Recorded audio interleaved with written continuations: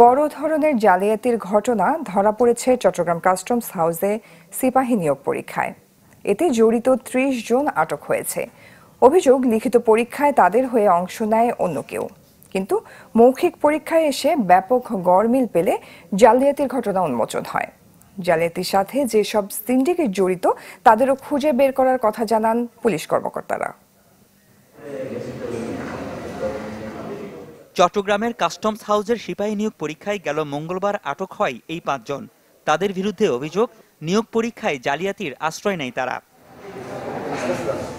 কেবল এই পাঁচজন নয়, গেল দুই দিনে আরও পঁচিশ জন ধরা পড়ে জালিয়াতির ঘটনায়। কাস্টমস কর্মকর্তাদের দাবি, অংশগ্রহণকারী বেশ কিছু পরীক্ষার্থীর লিখিত পরীক্ষার সাথে মৌখিক পরীক্ষায় ব্যাপক গরমিল পায় নিয়োগ কমিটি। এতে যাচাই বাছাই শেষে ত্রিশ জনকে শনাক্ত করে তারা। যারা স্বীকার করে তাদের হয়ে লিখিত পরীক্ষায় অংশ নেয় আরেকজন।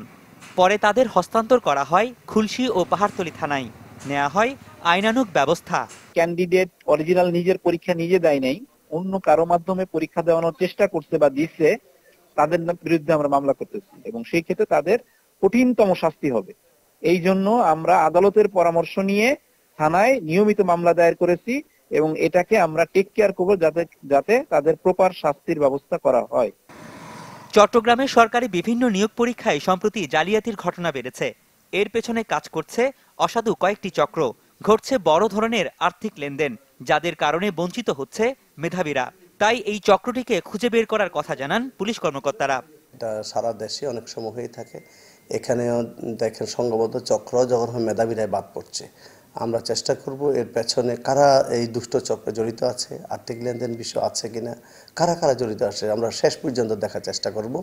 যাতে করে জাতির এই যে মেধাবীদের সেবা থেকে বঞ্চিত হওয়া যে চক্রান্ত, এই জায়গাটা যাতে আমরা কাজ করতে পারি।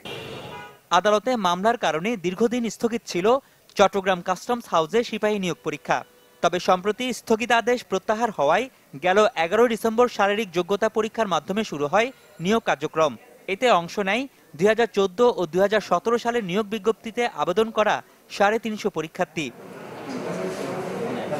Roni Dutta channel twenty Chattogram.